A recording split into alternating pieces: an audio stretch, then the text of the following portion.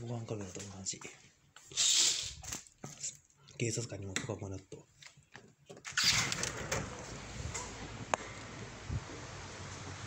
ら、持っていただくよ。えーいただこうと、と。ああいうの石油やろ。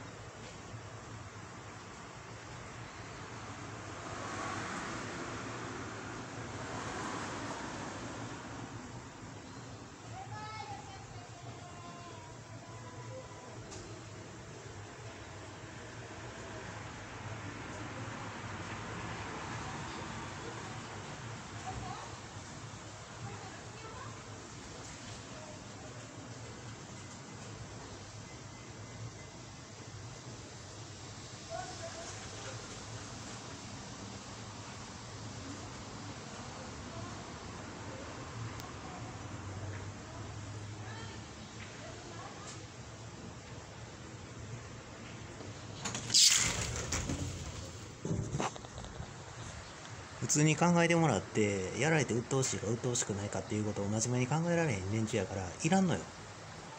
仕事させるに値しない人間たちだから。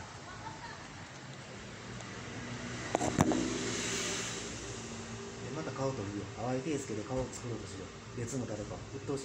それも違法行為。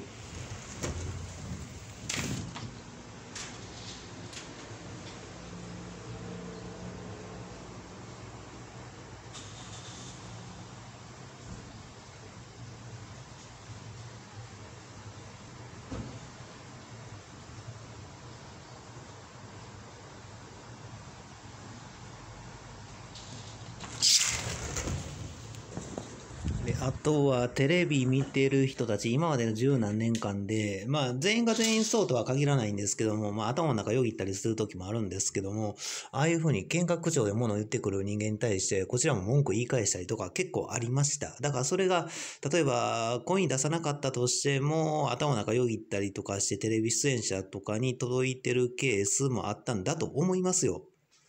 だから、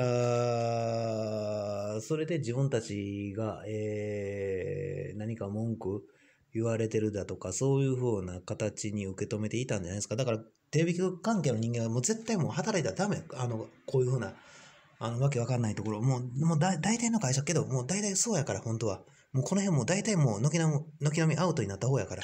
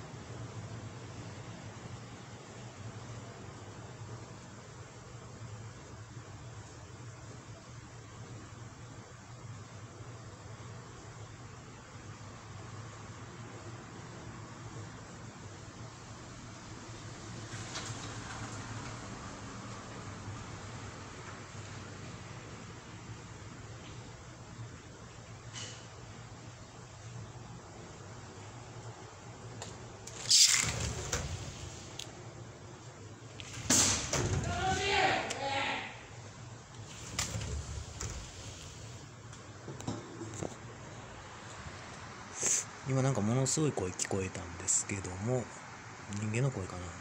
電波かな？建築業界の話をした後。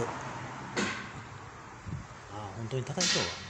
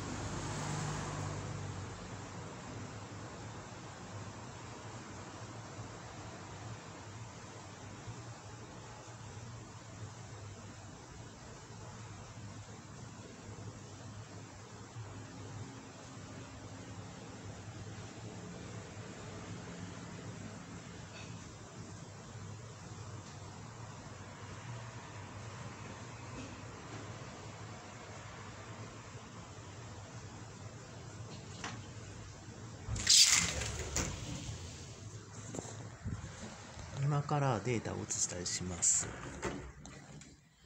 だから今一瞬録音が、録音ができない状態。